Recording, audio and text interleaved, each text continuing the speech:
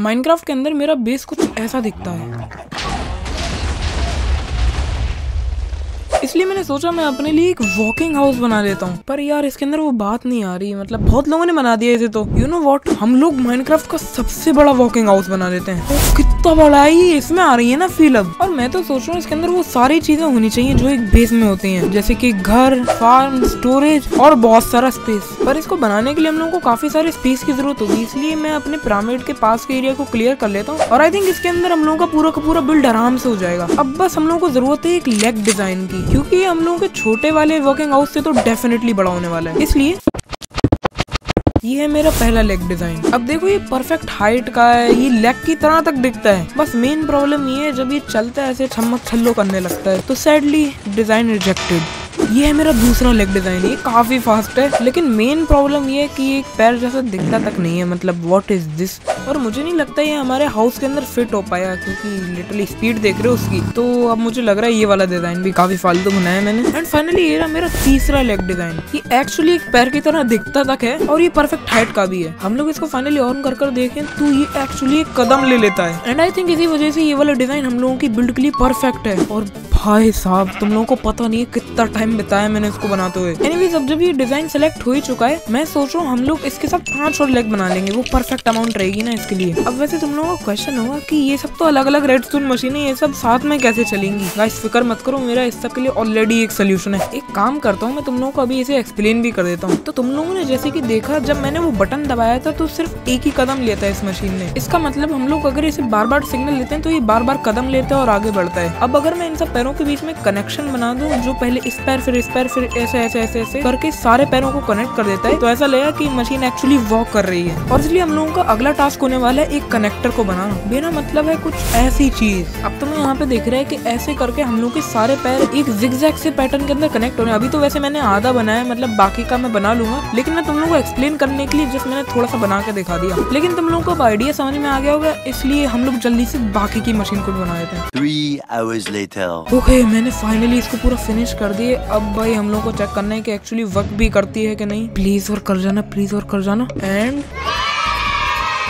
तुम लोगों को पता नहीं है कितना खुश हो रहा हूँ मैं अभी। मतलब तीन घंटे लगे पूरे सिर्फ़ कनेक्टर को बनाने में और पैरों को तो मैं गिन भी नहीं रहा हूँ। तो भाई नॉर्मल वॉकिंग हाउस बनाने वाले थोड़े डर चुके हैं। लिटरली इसका एक पैर पूरे के पूरे उन लोगों की बिल्ड जितना बड़ा है। अब तो तुम लोगों को मेरे ऊपर भरोसा हो ही गया होगा। इसलिए जल्दी से अब उस लाल सब्सक्राइब बटन को दबा दो। बढ़िया यार, हम लोगों की पूरी की पूरी वर्क कर गई। अब एक्चुअली हम लोग इसको जल्दी से स्टॉप करते हैं क्योंकि अब हम लोगों को प्लेटफॉर्म बनाने की ज़रूरत है। इसके ऊपर हम लोगों का एक्चुअल घर आएगा। अब देखो मेरे पास इसको बनाने के लिए सारे मटेरियल्स तो हैं, सिवाय सारी हनी के। और नॉर्मली हनी कलेक्ट करना तो भाई बड़ा खतरनाक काम है। अरे नहीं, फिर से नहीं यार, ये तो पीछे पड़ अरे एक सेकंड ये तो मधुमक्खियाँ हैं मतलब ये तो मेरी उंगलियों से भी छोटी है, मैं किस बात से डर रहा हूँ? हटो तो ओके, मैं गलत था सॉरी सॉरी लगता है मुझे फिर से अपने हनी फार्म के ऊपर घंटों तक एफ़ के करना होगा। देख लो भाई तुम लोग स्पीड में सारा शहद प्रोड्यूस कर लेना, वरना फूल तो क्या, पानी तक नहीं दूँगा मैं, तुम ओके पूरे एक दिन बिजली फूकने के बाद मेरे पास सारा का सारा हनी तो आ चुका है। अब हम लोग एक्चुअली इसका बेस बना लेते हैं। वो तो भाई मैं डायमंड से ही करूँगा अपनी अमीरी दिखाने के लिए। वैसे अगर तुम लोग नए हो चैनल पे, वो मैंने एक्चुअली अपने डायमंड फैक्ट्री से प्रोड्यूस करे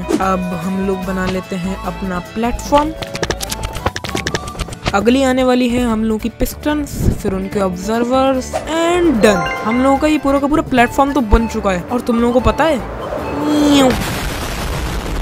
ये पूरा का पूरा सॉफ्ट चीज़ों से बना हुआ है, इसका मतलब मैं थोड़े बहुत मज़े ले सकता हूँ इसके ऊपर। और नीचे से देखो तो ये देख रहे हो, पैसा ही पैसा। मैं तो बोलूँगा अब तक बड़ी खतरनाक बन रही है हम लोगों की पूरी की पूरी मशीन। अब चलिए इसको एक बार फाइनली टेस्ट करके देख लेते हैं। ओके अगेन प्लीज़ चल जाओ प्लीज़ चल जाओ। मशीन नहीं चल पाई। और पूरे दो घंटों के बाद ओके प्लीज़ अब चल जाओ चल जाओ। चल गई। भाई साहब, इतना सारा टाइम क्यों लग गया मुझे इसको फिक्स करने में? अभी पूरी की पूरी ऐसे करके मूव हो रही है। इसका मतलब मैं इसके ऊपर अपने ऐसे करके ब्लॉक्स प्लेस कर सकता हूँ और वो भी एग्जैक्टली अपनी पोजिशन में रहेंगे जब ये मशीन मूव करेगी। अब देखो, मैं चाहता हूँ की इसके ऊपर हम लोगों के विलेजर्स भी हों और बाकी सब चीज़ें भी हों। लेकिन ये तो उनके लिए बड़ी ही अनसेफ है, क्योंकि मैं खुद गलती से यहाँ से गिर जाता हूँ। तो मुझे लग रहा है यहाँ पे हम लोग को वॉल्स बनाने की सख्त ज़रूरत है। एटलीस्ट अब मुझे इसका मैकेनिज्म तो पता चल चुका है हम लोग इनको आराम से बना लेते हैं। यहीं पे भी वही सेम ऑब्जर्वर्स और पिस्टन लग जाएँगी और ऐसे करके हम लोगों की फ्रंट और बैक वाली वॉल तो बन चुकी है। बस साइड वाली वॉल्स के अंदर थोड़ी सी प्रॉब्लम भाई अरे अरे तो जैसे की मैं बोल रहा था ये थोड़ी और कॉम्प्लिकेटेड है। लेकिन कोई ना हम लोग इनको मैनेज कर लेंगे फिर भी किसी तरीके से। वो क्या है ना हर किसी वॉल के अंदर मुझे ऐसे करके पिस्टन लगानी है। लेकिन इतना तो हम लोग मैनेज कर ही सकते हैं वरना मैं माइनक्राफ्ट यूट्यूबर क्या रह गया? और एक्चुअली इंटरेस्टिंग बात क्या है जैसे कि हम लोगों का ग्राउंड था ये भी हम लोगों की स्टिकी ब्लॉक से बनी हुई है। इसका मतलब मैं इनको डेकोरेट भी कर पाऊँगा। अब देखो 1.20 आइटम्स का मैंने अभी तक यूज़ नहीं किया तो मैं सोच रहा हूँ हम लोग आज ही कर लेते हैं इनका। और मैंने यहाँ पे सब छोटा सा छेद छोड़ दिए, क्योंकि मैं लगाने वाला हूँ वहाँ पे अपनी रूम लाइट्स तो ऐसा लगा हम लोग की मशीन की आँख है। गाइज़ मुझे याद रखना अरे बाप रे मेरा सर प्लीज़ प्लीज़ है, हटो, इतना इजी था। तो ये फाइनली लग तो चुके हैं और सोचो, तुम अपने बेस के अंदर मज़े ले रहे हो और ये अंधेरी सी चीज़ आ जाए आँखों के साथ। अरे, बड़ी सी मकड़ी लग रही है वो। ऐसा लग रहा है पूरे बेस का काम लगाने आई है यहाँ पे। लेकिन तुम लोगों को पता है इसका मतलब क्या है? हम लोगों का पूरा का पूरा एक्सपीरियंस कंप्लीट हो चुका है। अब बस हम लोगों को इसका अंदर का पार्ट बनाना है मतलब घर और बाकी सब चीज़ें। और आई थिंक इसको घर जैसी फील देने के लिए यहाँ पे नीचे घास होनी चाहिए। घास की तो कोई कमी नहीं है हम लोगों को। अरे, वो गधा रास्ते में है क्या? ओके इनफ गधा पन्ना हो गया फाइनली ग्राफ ले लेते हैं अपनी। ओके इतनी नफ होगी। और हम लोगों की ज़मीन फाइनली कंप्लीट छोटा है? पर घर है, लेकिन ये दूसरे वॉकिंग हाउसेस से तो डेफिनेटली बहुत बड़ा है। ऐसा लग रहा है हम लोग अभी भी ज़मीन के ऊपर ही हैं। अब देखो यहाँ पे घर बनाना तो बड़ा ही सिंपल है। क्या है, हम लोग की जब भी वॉल मूव करेगी, वो पीछे वाला सिस्टम डिटेक्ट करेगा कि मैं मूव हो रहा हूँ और वो इस सामने वाली वॉल को पुश करेगा। इन टर्न ये वॉल हम लोग के पूरे के पूरे घर को पुश कर देगी। और चलो घर के बाद चल रहे उसको हम लोग बना ही लेते हैं। मैं सोच इसके पिलर्स हम लोग बैम्बू ब्लॉक से बना लेंगे। पूरी थीम को रखने के लिए मैं सोच इसकी वॉल्स हम लोग एंड स्टोन से बनाते हैं। और विंडोज़ की जगह पे हम लोगों का रेड वाला ग्लास तो परफेक्ट है। और आई थिंक फ्लोर के ऊपर भी हम लोगों का बैम्बू का टेक्सचर काफ़ी बढ़िया है। बिल्कुल जैपनीज वाली फील आ रही है यहाँ पे। अब अगर तुम लोग सोचो कि मैं यहाँ पे चेन्स क्यों लगा रहा हूँ, वो इसलिए क्योंकि इस घर के अंदर कोई भी एयर स्पेस नहीं होना चाहिए। वरना मूव होने पर हम लोगों का पूरा का पूरा घर टूट जाएगा। अब अगर मैं यहाँ पे अपने ऐसे करके सर्कल लगा दूँ तो यहाँ पे हम लोगों का स्टोरेज का तो काम हो गया और मैं बेड के साथ भी यही सेम चीज़ कर पाऊँगा। तो बेसिकली हम लोगों का यहाँ पे एक बढ़िया सा घर बन चुका है। अब देखो, हम दोनों अपने वॉकिंग बेस के ऊपर एक फार्म तो नहीं बना सकते हैं, क्योंकि अगर क्रॉप्स को पिस्टन पुश करती हैं तो